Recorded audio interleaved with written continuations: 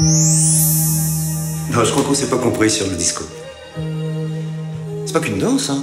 Non, le disco, ça rentre par les cheveux, ça ressort par les pieds. 50 cm au-dessus du sol, les fesses serrées. Et puis poum poum.